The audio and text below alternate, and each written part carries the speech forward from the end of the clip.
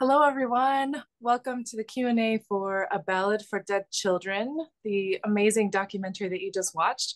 I'm Gwen Callahan. I'm the co-director of the H.P. Lovecraft Film Festival, and I'm thrilled today. I'm joined by Jorge Navas, the director and writer of the documentary, and also by Rosario Caicedo, who is Andres Caicedo's sister and who helped a lot with the documentary. So welcome to both of you. Thank you for joining me.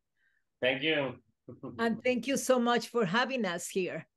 Uh, we feel very honored, and especially just being part of this uh, festival with the name of H.P. Lovecraft, which, uh, you know, the name itself says a lot about an yes. author that Andres just adored. Okay. Um, hmm. Yes, he was a big fan. And I feel that after this, I hope that all of the Lovecraft fans that are watching and anyone else who might see this goes and finds all of Andres's work to read them because um, I think it's important that we know, other than in just the United States and Europe, that there are other countries where Lovecraft's influence is felt. And he inspired so many other writers that we are kind of learning about as things on the internet pop up and we you know it becomes we become a more global community of um, cosmic horror fans um, so i think that's really great and i hope that by showing this documentary everywhere that more people will become aware of Andres and his work. So um, my first question is for Jorge.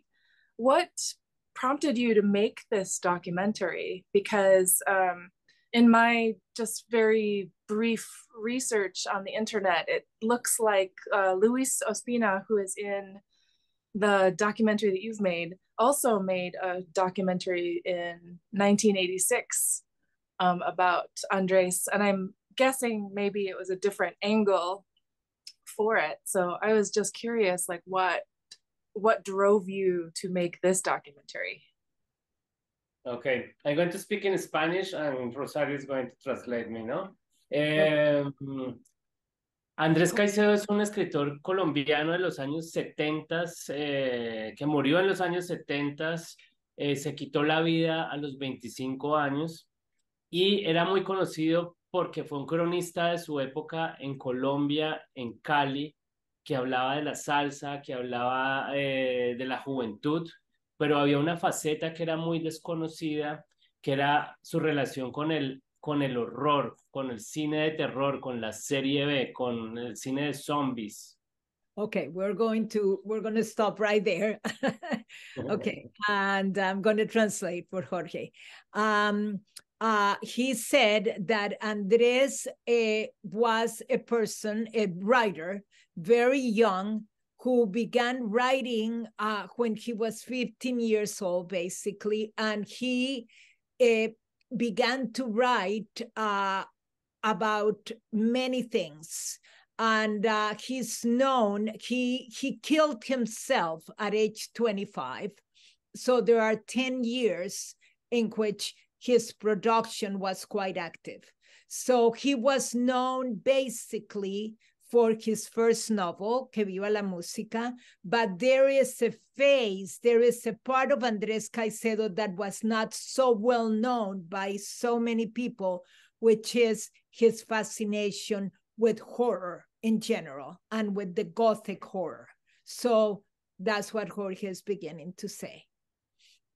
Y él empezó una tendencia eh, o fue la base de la piedra angular de un subgénero cinematográfico en Colombia y en Cali que se llamó el gótico tropical, que básicamente el gótico tropical utiliza los arquetipos del gótico inglés y los traslada al tercer mundo, a Colombia, a Cali, al sudor, a la, a la vegetación, a la, a la música salsa y desde allí empieza a construir una nueva mitología.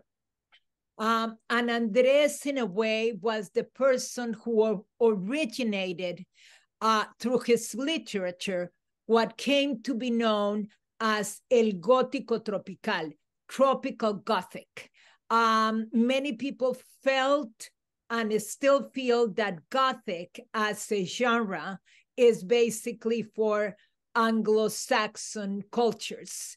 But in Andres, he basically was the one that brought that Gothic influence, the influence of the English Gothic into the tropics through his short stories and his literature. So that is very important to say.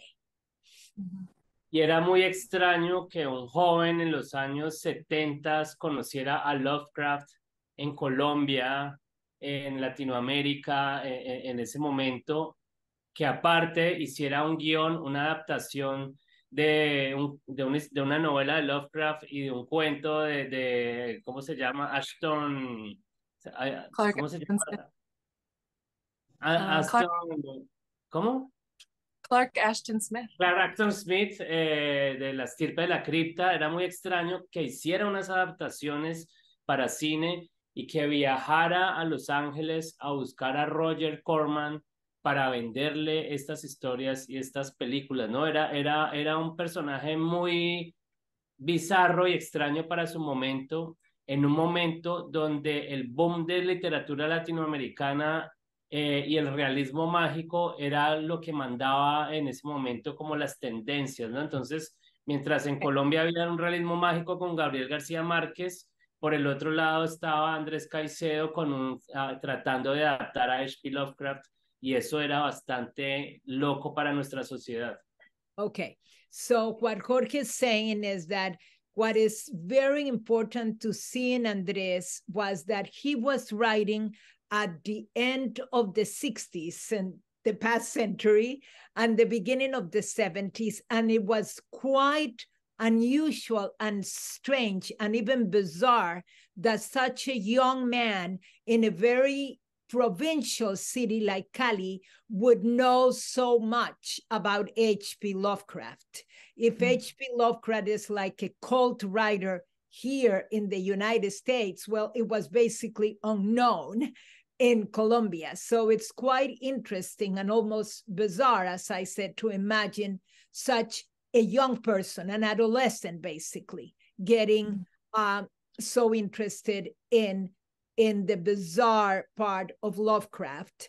And not only that, but trying to get his short stories and his novels produced and written into scripts, movie scripts that he felt he could travel to the United States, to Hollywood, and sell them to Roger Corman, the famous B movie director. Uh, he was convinced that he could do that. He, so he, he dreamed very big. he was he was thinking uh quite big, almost in a delusional way, should I say? You know, I mean, imagine if it's difficult now to sell a script in Hollywood, what it meant in 1973 to sell a script in Hollywood at that time. And the contrast with the real, magic realism, uh, you don't exactly. speak about it exactly and uh, that that was something that I, I i should have said the other thing is that andres was writing um in in a style that was so completely different from the style of latin american literature at that time which was so concentrated on what is called el realismo mágico garcia marquez and everybody that belonged to the latin american boom so he went he went his own way. Y al, y al mismo tiempo, ya para terminar esta pregunta, él, él era un, un, escritor que todo lo que hacía lo relacionaba mucho con su vida personal, con su biografía. Y utilizó a Lovecraft y a, y a Smith para, de alguna manera, adaptar las historias de ellos, pero también hablar de cosas muy personales y fusionó eso en, de una manera muy única y muy, sí, muy personal.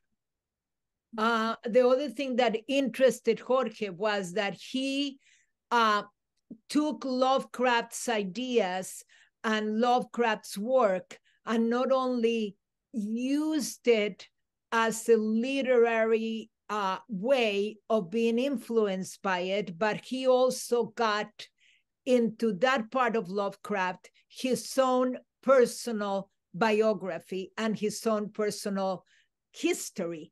So uh, it, it is quite fascinating to see how he combined those two things. Mm-hmm. That is interesting. There's a lot of writers writing today that um, have taken elements or themes from Lovecraft's writing and brought it, you know, brought their own spin to it. But it's it seems like Andres was one of the first sort of contemporary authors to really combine, you know, Lovecraft's themes and style and um, elements of his writing with his own um, biographical, like very personal, making it making it modern and um, rather than something over there, something right here. Exactly, exactly. And I have to say, um, perdona Jorge, voy a, voy a, a decir algo con respecto a lo que acaba de decir Gwen. Um, I just wanted I just wanted to say something that is different from what Jorge is saying or adding to what Jorge uh, is saying that what is really fascinating about Andres's work regarding his influence with Lovecraft is that he was basically a trailblazer. You know, I mean, I haven't done all the research that should be done about who was the first Latin American writer who got Lovecraft into the Latin American uh, uh, imaginario, you know, I mean, the literature, etc. But I would dare to say that Andres maybe was one of the first ones, and especially at mm-hmm. such a young age, that he had such a knowledge of the of of uh, Lovecraft's writing. It's interesting too. Um, we've been doing some a little bit of research on film, like Lovecraft adaptations to film, and as far as we can tell, the first um, film adaptation of a Lovecraft story was from Mexico um, in, I think, 1963. 1963. Okay. 1960. I'm sorry, Brian's over there giving me notes, but um, it was La, La Marca del Muerto. Wow. It, uh, sort of an adaptation of um, Charles Dexter Ward. Oh, and then 1960, and then 1968, I think was uh, the Haunted Palace. Oh no, I'm sorry. So that was Haunted Palace in 1963. So three years later, Roger Corman made Edgar Allan Poe's The Haunted Palace, which was actually an adaptation of the case of Charles Dexter Ward. So it's it's interesting to us. We wonder if Corman was aware of that adaptation or or not, because the way films were distributed back then is much different from how it is now. Well, so it's please. possible wasn't aware of it at all. Um, but then it's then with um, Andres writing as a you know 15 15 years old to 25 years old right after that um, in kind of the same time period being influenced by Lovecraft. Um, it's really interesting how we find these little pockets of influence, like where someone discovers Lovecraft, but then there's two other people who discovered yeah. Lovecraft and independently are exactly. working from that. Exactly. Yeah. Yeah. That that is fascinating. Era muy, difícil, era muy difícil encontrar los libros en Cali, Colombia, de Lovecraft, ¿no? En esa época no sabemos de dónde él consiguió esos libros, cómo accedió a, ese, a, esa, a esa literatura. Um, uh, Jorge is saying that it was incredibly difficult in Cali, Colombia in 1965 to read the literature of H.P. Lovecraft. Uh, we don't even know. That's the mystery. And I've always said that to Jorge. Jorge's not saying that. That to me, if if if I would have a question for Andres, the dead person right now, if I could talk to him, that's what I would ask him. I would say, Where did you get such an enormous amount of literary knowledge at such a young age? In a city that was incredibly provincial, that basically did not have public libraries to be, you know, uh, to be exact. So that is a mystery that Jorge felt very much that was a mystery and that I have always felt. How in the world, when he talked to me about H.P. Lovecraft, I had no idea, no idea who he was. and I was terrified by what he showed me. um, and Jorge, when you when you so you've decided to make this documentary about um, Andres, who um, you know no nobody here uh, very few people, I think, in the U.S. Um, know about him. Um, and there's you had. So, how did you meet Rosario? Eh, nos encontramos porque me invitaron a hacer este documental. Un canal de televisión de Colombia me invitó a hacer el documental sobre Andrés Caicedo, pero sobre su parte más conocida, que es sobre la música salsa, sobre Que viva la música, que es la novela más importante que él tiene. Es como una crónica de, de, de, Cali de los años 70 que gira alrededor de la salsa, el rock and roll y las drogas. Eh, pero yo propuse que lo hiciéramos eh, desde otro lado el documental, que era este lado como más relacionado con el gótico tropical, con la oscuridad, con la tragedia y con el destino que eran temas muy importantes para Andrés Caicedo y que se amarraban eh, pues como con esta, con esta idea del terror, ¿no? Entonces, eh, en la investigación eh, nos conectamos y nos volvimos muy amigos. Yo viajé a, visitar a Rosario, Estados Unidos.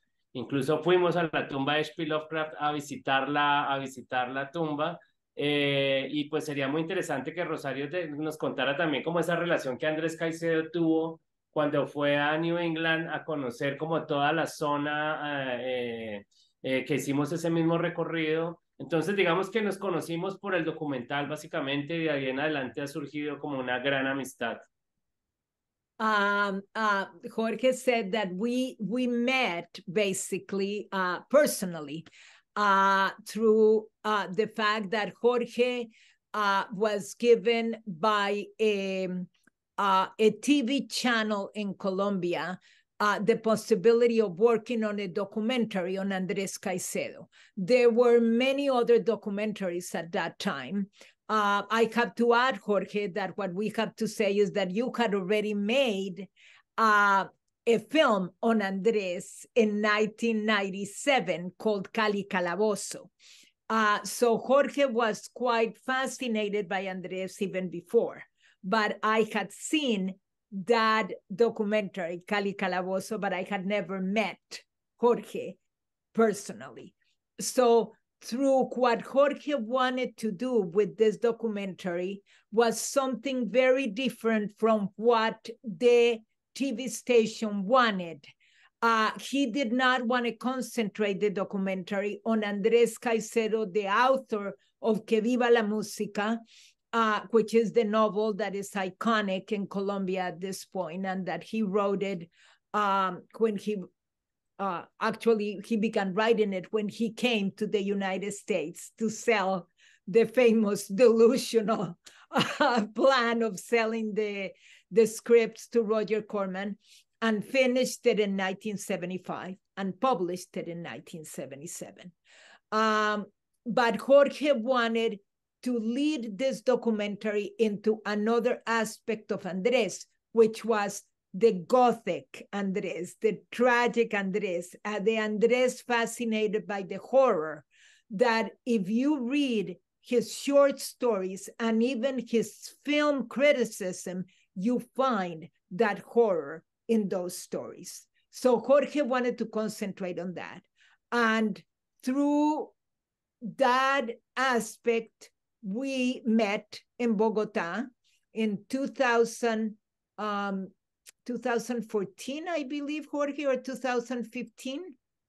15. Uh, 2015, we met in Bogota and we began to talk.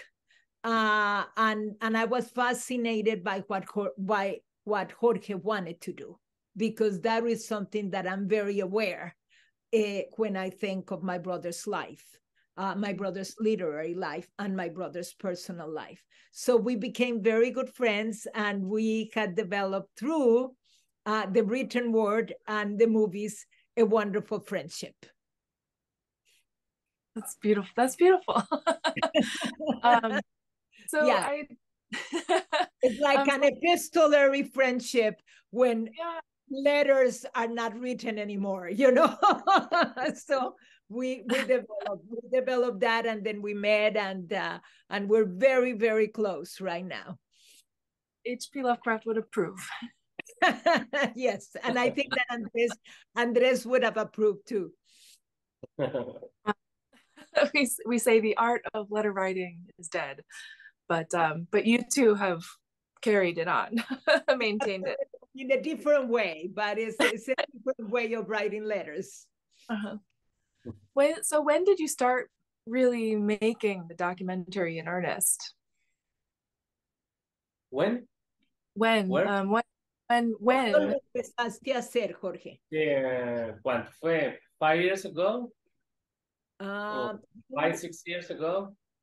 you came you came to my house i i live in connecticut so i live in new england uh and um and of course is is the the land of of uh of hp lovecraft you know i mean we're very close to to where he lived in in rhode island uh in in providence and uh we visited the the cemetery and that was quite a trip um, but um, you came in 2017 jorge Ah, okay.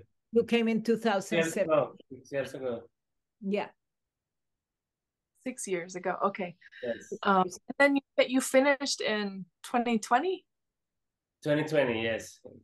So It so it was- ar- around four years. Around four years uh, you spent making the yes, documentary. Exactly. yes Eh, fue, fue muy interesante porque la película se terminó en el 2020, en el 2020 que fue la el- y se estrenó en Cartagena, en el Festival de Cine de Cartagena, que es una ciudad colombiana que queda al lado del mar, un cine que queda al lado del mar, eh, como en un malecón. Y ese día iba a ir Roger Corman a ver la película porque estaba invitado al Festival de Cine de Cartagena. Eh, pero no pudo llegar porque se cerraron los aeropuertos porque fue el día que empezó la pandemia mundial, que se declaró pandemia mundial. Entonces fue muy interesante que esta película que habla de Lovecraft, que habla de Lovecraft, del horror, Roger Corman, eh, que se haya, no se haya podido, que se, que se haya bloqueado el festival y se bloquearon todas las ventanas de la película porque empezó una pandemia, ¿no? Que era como una historia de terror real en el mundo real de, de, de lo que estaba sucediendo. um, uh, the it took basically from 2017 to 2020 for Jorge to finish the documentary. So by 2020, the documentary was ready, Balada para Niños Muertos, uh, was ready to be shown at the International Movie Festival in Cartagena. And on March 13, on a Friday, Friday the 13th, was ready the whole thing to be shown. And then what happens? Everybody was very excited because Roger Corman, who is in his 90s and was in his maybe 90s at that time, was going to come to the movie festival as a guest. So we were all very excited to imagine that finally Roger Corman was going to see this tale of this young artist fascinated to meet him many, many decades ago. But then what happens to follow Andres's kind of path, Gothic path and H.P. Lovecraft Gothic path, the pandemic is declared that day. And when the movie is shown, after the movie is shown, the whole festival is closed and absolutely everything in the world is closed right after the movie is shown. So it's it's it's quite interesting. It's a very it's a sort of gothic tale into itself. Mhm. I remember Um, I remember that weekend because we were in New Orleans at a friend's wedding, wow. and it was the the last wedding that happened in New Orleans that year. They pulled all the rest of the permits and everything closed. So yes. um, it was very eerie, very quiet in the French Quarter and uh, spooky. Yes. yes. incredible, incredible. Yes, I remember when when um everybody was talking about the pandemic before you know everybody i mean people were kind of aware that something was coming you know i mean it was like the plague the plague the plague but but then then you see it in reality you know and when jorge called me to tell me that the festival was closed friday the 13th right after this movie oh. showed, I just said, "Oh my God, H.P. Lovecraft and Andres must be sort of dancing together somewhere," you know, because it, it, was like it was like a, a, a horror story, you know. Yeah. um. So I have a, another question about the just the logistics of making the documentary. Was it difficult to find? um, Andre friends of Andres who could um, talk about their stories, like um, uh, Ramiro Arbeláez and Jamie Acosta, Oscar Campo, um, friends of his that were still alive. No, no fue difícil encontrarlos. Andrés Caicedo es un escritor muy importante en Colombia.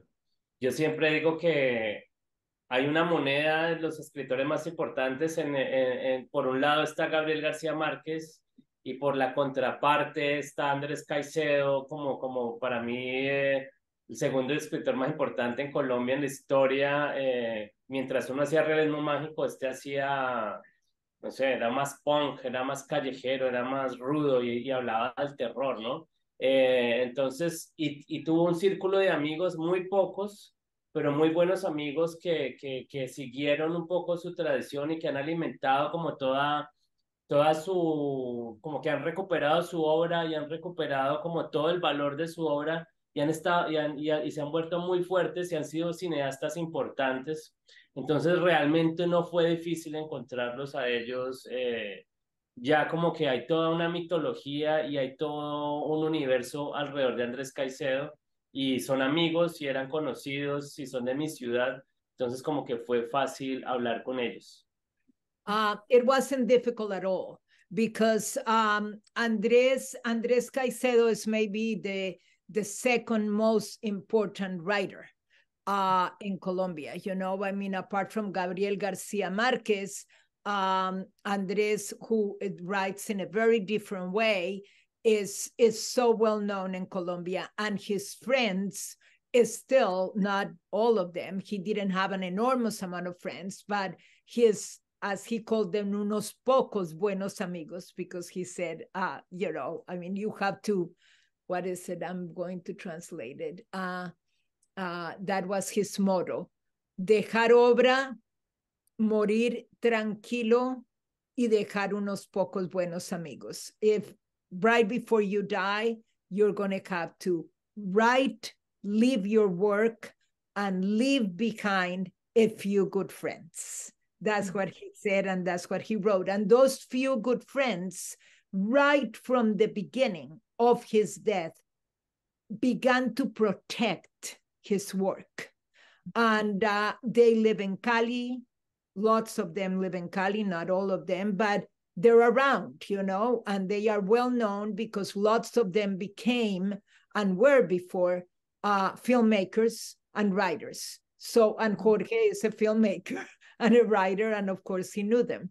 So it was it it was very it was very easy that part. Okay, very nice. Um, it's really wonderful to see all the archival footage and the clips that you use from uh, like Luis's films and um, your own films that really just uh, bring bring the story to life. So I really appreciate that you had all that available to you, and then the scenes with Luis where he's showing the posters from the um, the cinema club were yes. really. Um, let's see. I'm just making sure I'm, I ask all the questions that I wanted to ask. Um, that's that's that's um um I just wanted to ask about this. The cinema of Colombia is not that well known here in America, like the United States. I think we are so American centric, you know, like everything is like Hollywood or maybe some things from Europe or Sweden or now Japan and Korea. Um, but South South America, Latin America is not that well known here. So um, when I was looking at the film credits for the clips in the in the end of the credits where it says um, you know the clips from all the different films, I was like, oh, these are things I've never heard of before, and I feel like we should know about these things. And I wanted to ask Jorge, do you have a suggestion of if people are if people are interested in Andres Caicedo's work, is there a couple of films you would recommend for people to watch so that they get more of a feeling for the Colombian style of literature and art? Claro. Eh, Andrés Caicedo fue la piedra angular de un grupo que se llamó el Grupo de Cali. Y el Grupo de Cali fue el que se inventó este concepto del gótico tropical, donde se mezcló literatura y cine. La parte literaria la puso Andrés Caicedo y fue y ayudó a escribir los guiones o las, las semillas de los guiones de tres películas que, que son como el, eh, el, la columna vertebral de ese movimiento que son Pura Sangre de Luis Ospina, eh, Carne de tu carne de Carlos Mayolo y La mansión de Araucaima de Carlos Mayolo. Esas tres películas son como las tres películas importantes de ese movimiento de los años 80 eh, que Andrés Caicedo ayudó a construir eh, después de su muerte. Exacto. Uh, y Noche sin Fortuna, que es la novela más Lovecraftiana de Andrés Caicedo, eh, sería la, el complemento literario. Uh, um, what, um, what Jorge says is that Andrés was the central piece of a movement that was called, that is called El Grupo de Cali, Cali's group. Cali's group was formed uh, by people who wrote and people who made movies, um, filmmakers and writers. Andres, after, I would say, after his death, was in a way more influential in that group that during the time that he was living. Uh, and he contributed with his literature and with scripts that he wrote, he began to write for three movies that were made after Andres died. He contributed to those scripts uh, because he was very good friends with Carlos Mayolo and Luis Ospina. So, Jorge, tell me again, dime de nuevo las tres películas. Pura Sangre. Pura Sangre, directed by Luis Ospina. Uh, Pura Sangre, Pure Blood, directed by Luis Ospina. Uh, carne de Mayolo. Um, um, flesh of Your Flesh, uh, Carne de tu Carne, directed by Carlos Mayolo, and... Y La Mansión de Araucaima. And the Ara Arauca Araucaima Mansion, La Mansión de, Arauca de Araucaima, directed by Carlos Mayolo. Uh, so those are three films that people who are interested in Andres's work and on H.P. Lovecraft's influence on Andres's work and on El Grupo de Cali's work would be very interested in seeing. I myself recommend those two, those three. And um, uh, regarding literary works, um, Jorge talks about a, a novel that was published after Andres died, because the only the only novel that was published during his lifetime was uh, Que Viva la Música the novel that he received the day that he killed himself. Um, so Noche sin Fortuna is the most gothic of Andres's work and is what is called an unfinished novel, edited after his death by his friends um, Sandro Romero and Luis Ospina, and is the most gothic and the most horrific of them all. oh, perfect. Thank you for that. Um, and que, que Viva la Música in English was changed to Live Forever. Is that correct? Right. Exactly. And it's a beautiful translation, gorgeous translation. So I recommend it. Okay, I'm definitely putting that on my list. um, can can both of you or either one of you talk a little more about the cinema club?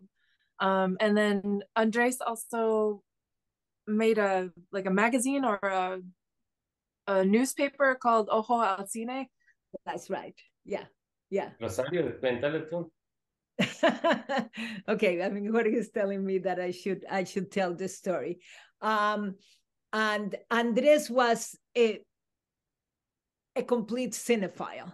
Uh, he knew so much about movies. That's another thing that I would like to ask the energy that is around uh, Andres's energy. How in the world he knew so much about movies at a time when knowing so much about movies was quite difficult. Even watching a movie was quite difficult. You know, I mean, people who are not my age uh, would have a difficult time understanding that in order for a person to watch a movie, you had to wait those three days that the movie was shown in your city to watch it and if the movie left that was the end of it you know? I mean you had to travel to another city to watch it and andres was known to do that you know? I mean to take a bus and go to bogota in order to watch a movie.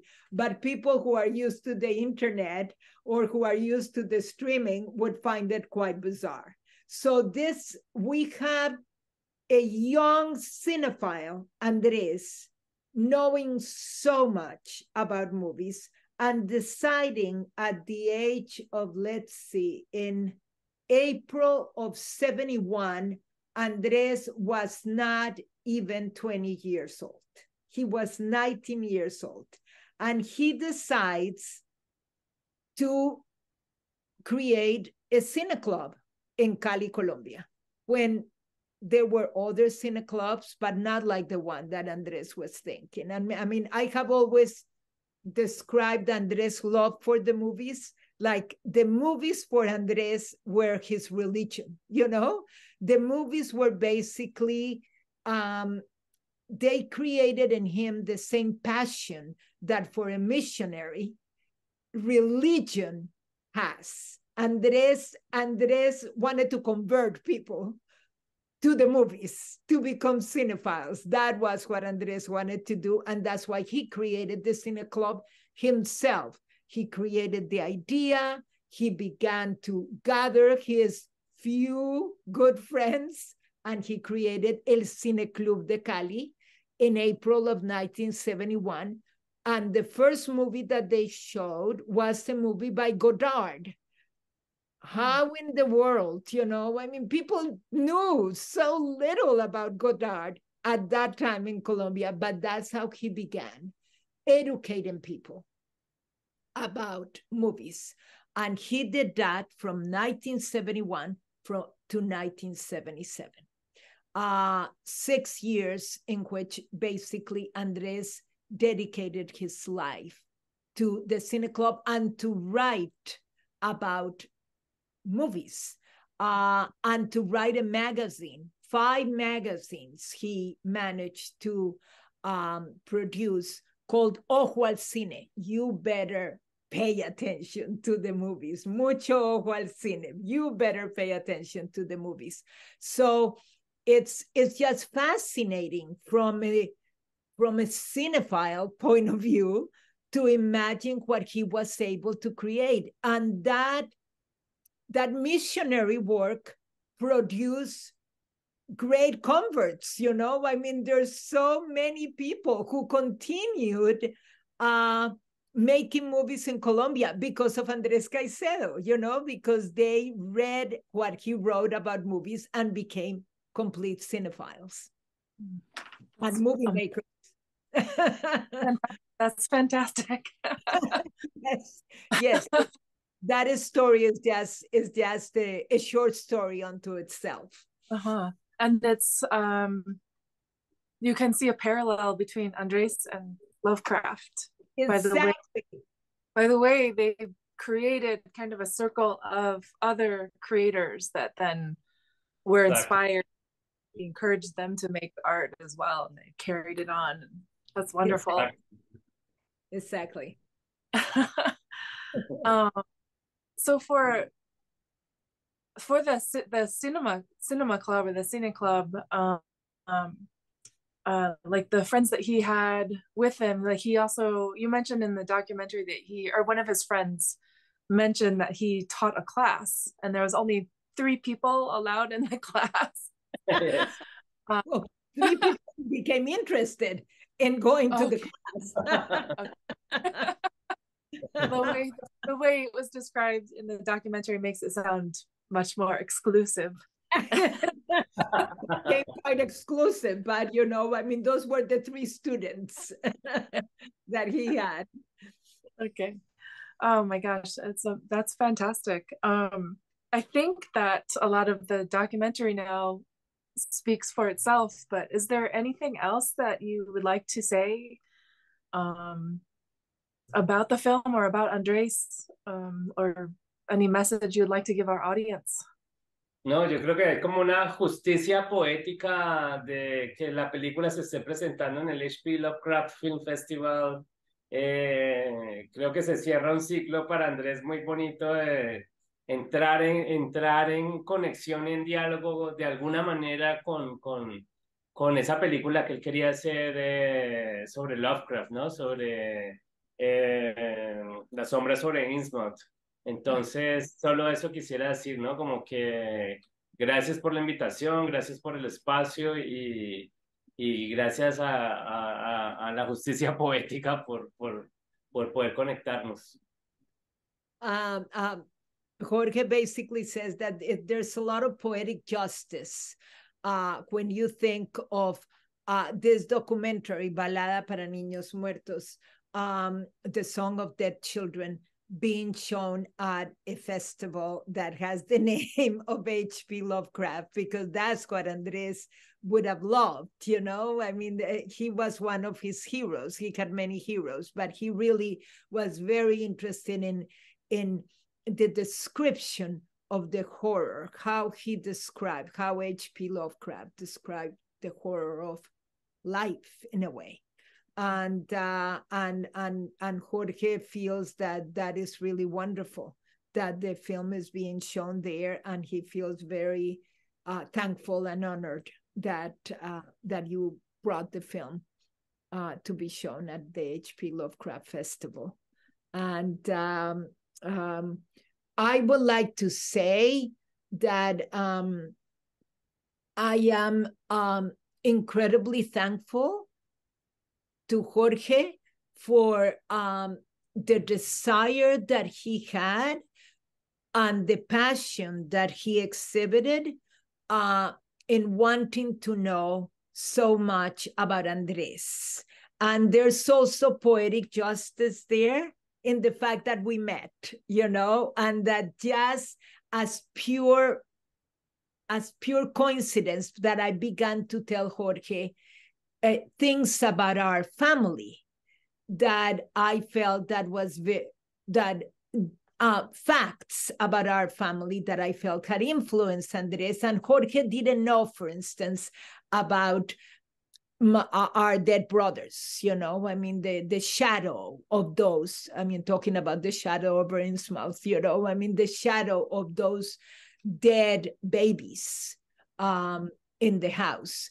And uh, I felt incredibly thankful to Jorge for his sensitivity and love of Andres's work. And that's why he was able to create um, such a good documentary. And I, because of that, because of who Jorge is as a filmmaker and as a person, I felt very comfortable showing him um, parts of Andres's soul in a way and my own personal archives on on Andres.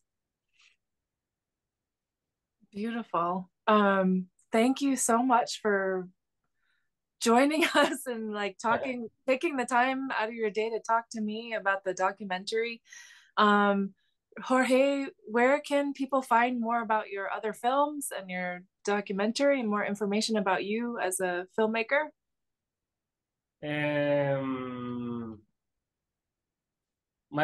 Las, mis películas están para Movie en Latinoamérica y en Amazon Prime también. Eh, una se llama La Sangre y la Lluvia, Blood and Rain, y la otra se llama We Are the Heat, Somos Calentura. Eh, pero creo que en Estados Unidos no se pueden ver. Eh, creo que somos La Sangre la Lluvia, Blood and Rain, sí se puede ver en Amazon en Estados Unidos. Okay.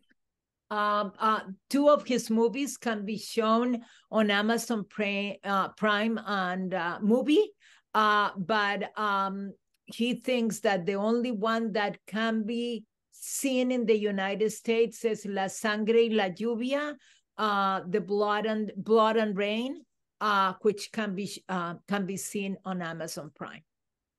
Okay. And um, Rosario, you are a on jury for you're on you have been on juries for film festivals? Yes yes i have. Yes yes. I i am a cinephile myself. I love i love movies. I think that uh um andres and i watch movies since we were very very little together that was one of the bonds that we had So it's a very nice. Um, and do you have other works that pertain to um, art and film? Well, I have written two books. I I have written a memoir and I have written um, a a book of poems.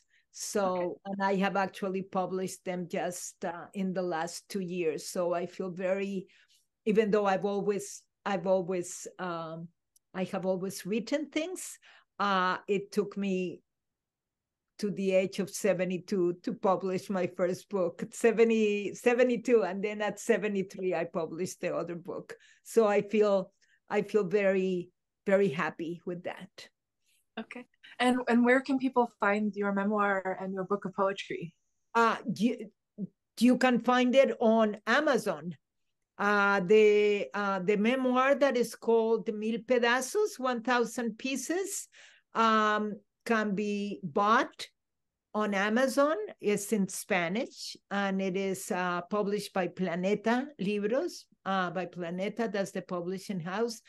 And the other, my book of poems, which was just launched in the book fair in Cali, is called Las Vidas de Mis Muertes the lives of my deaths uh, and uh, it can be found on Amazon too. So, um, so I, I, I felt very, uh, uh, very happy that I was able to do that, and I have to say that it was through in a way i have never said this to jorge but um, when uh, when we were working on on the film when Jorge came to my house, that is another thing that I'm incredibly thankful for to Jorge for that he sort of brought the movie, he brought movies into my house, you know, brought the film, the magic of a film into my house. And I felt incredibly happy for that. Uh, um, and uh, I think that I really began to consider seriously publishing a memoir that I had been writing for many, many years uh, while Jorge was here. So, in yeah. a way, it's sort of combined with that. It was a very sort of intense experience. Thank you. So, your brother Jorge, you. It's like the whole circle. Yeah, it, it, it really shows. It really shows how art can unite people. Mm-hmm. You know, I mean, and can create a wonderful bond, and you you sort of create a family. You know, or at least I feel that way. You know, I, I have to. Yeah, yes. it, it's just something that I just feel like uh, Jorge. I I call him my adoptive son. You know.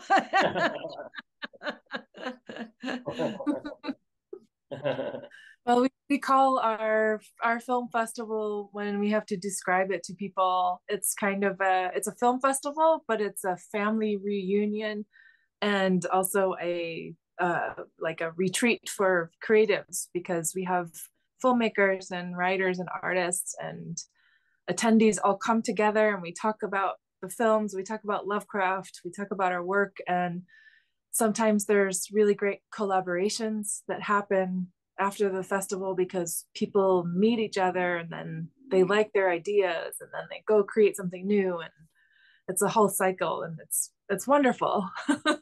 It is really it is really wonderful. Yeah yeah um, and it really it really shows the the power of art you know mm-hmm. those incredible connections the personal co- connections that if you're lucky you develop yes definitely okay i think i'm gonna wrap up so our audience can go on to the next film um, but i want to thank jorge navas and rosario Caicedo for taking time out of their day to talk to me it was so nice to meet you um, I hope we have a chance to see more work from both of you. And um, yeah. You. Thank you. Thank you so much. Thank you for invitation. Really wonderful. It's it I, I feel very honored just talking to you.